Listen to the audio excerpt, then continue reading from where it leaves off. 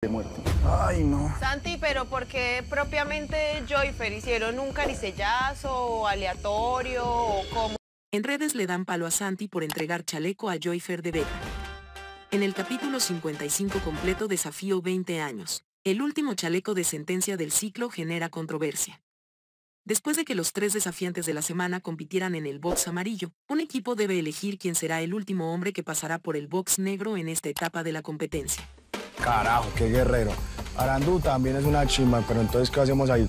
Colocarnos los uno acá entre la casa no podemos. Con el dolor en el alma. En este capítulo del desafío emitido el viernes, llegan tres nuevos colombianos a representar a los equipos en el desafío de sentencia, premio y castigo.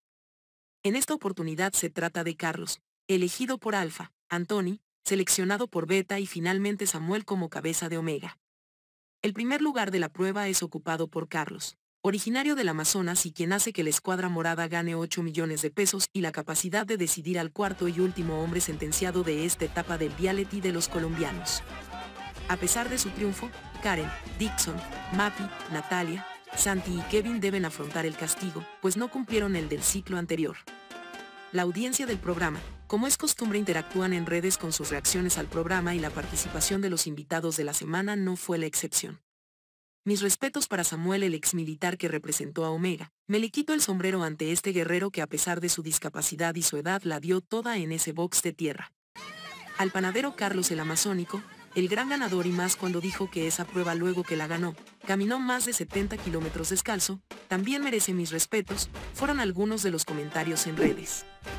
Pero además de admiración por estos desafiantes, en especial por el representante de Omega, que teniendo una condición especial logró competir desatando mucha admiración y respeto en los televidentes. Uno de los acontecimientos de este capítulo que generó más controversia fue la elección del último chaleco, pues después de analizarlo Alfa se lo envió a Joyfer de Beta, generando disgusto entre muchos, ya que el encargado de llevarlo fue Santi, quien precisamente fue ayudado y prácticamente rescatado por Joyfer al tener dificultad en la piscina profunda donde casi se ahoga. Esto además de memes y chistes también ha generado rechazo de Beta.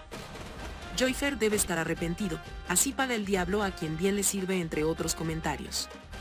¿Será que no habían más personas para poner chaleco?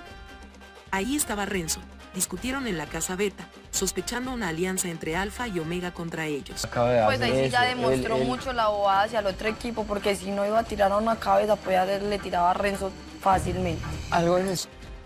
Alfa ganó, pero su castigo es cargar cosas pesadas, desde la montaña hasta el box negro, ya sea neumático o piedras muy pesadas. Mientras Omega ganó la plata, lo único que ganó Alfa fue el mercado libre, perro caliente y el chaleco para dárselo al último sentenciado, ellos recibieron el servicio y castigo al tiempo. El chaleco a Joyfer no fue sorpresa pues de hecho ya algunos spoilers lo habían anunciado como el próximo eliminado. ¿Qué opinan ustedes? Sigue así como y nosotros no nos agarramos fuerte para el próximo ciclo. A toditas tres nos ponen, nos ponen chaleco. Muchas gracias por ver este video. Suscríbete, dale like y comparte.